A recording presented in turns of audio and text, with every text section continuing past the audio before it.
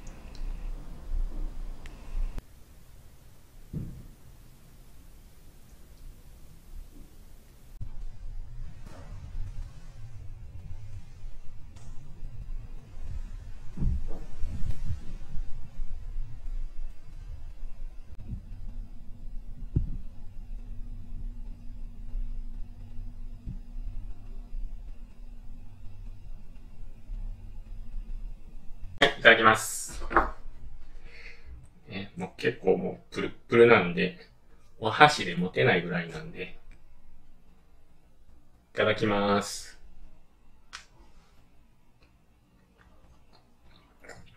うん。あ、美味しい。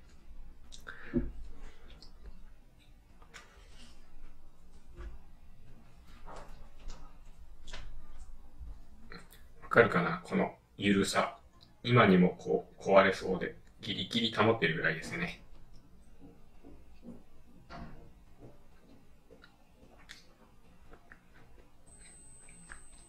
うん。あ、美味しいな、これ。結構、ペロッといけちゃいますね、もうこれ。わかるかな？この柔らかさが。今にも壊れそうでいるそうな、あ、今みたいな感じね。あれぐらいのゆるさですからね。はい、ごちそうさまでした。はい、今回はわらび餅を作りました。ね、一般的なわらび餅とはね、もう結構見た目も作り方も違いますよね。わらび粉を使うんですけど、本来は。もう僕はわらび粉じゃなくて、わらび自体、そのものを使って、わらび餅を作りました。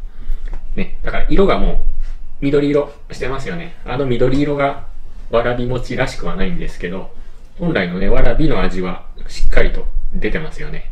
まあ、本来ね、わらび餅割ときな粉だったり、黒蜜かけるんですけど、僕はもうわらび自体の味をね、強調させたかったんで、あえてわらび餅にきな粉も黒蜜もかけずに、もうそのものだけであえて食べましたね。もちろんかけてもいいんですけど、まあかけた分甘くなってきますよね、どんどん。うん。はい。